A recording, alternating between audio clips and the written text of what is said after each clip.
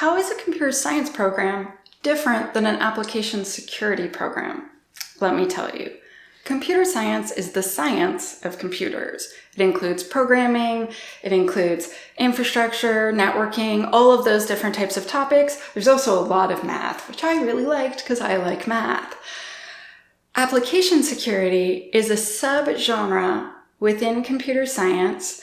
So within computer science, there's information security. So that is a sub industry. And then within there, there's application security. And that is how to secure software. It means doing security testing. It means automating some security activities, creating security policies, and then setting electronic checks, automated checks, verbal checks, email checks. It's teaching and ensuring that the developers know how to create secure software. There's many, many different parts to application security. Why is this not covered in school? There's a whole lot of reasons why application security isn't a specialization that's available in universities.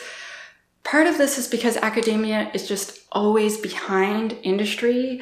It's unfortunately a fact. And part of it is also because it's so new. Computer science is around 40 plus years old, while application security is around 20 years old.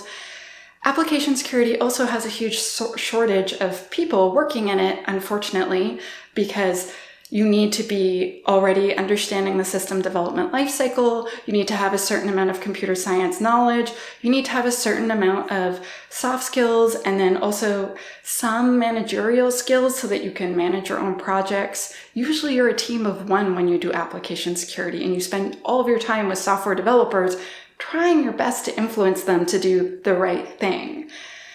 So computer science is awesome and application security is a part of computer science. I hope this answers your question.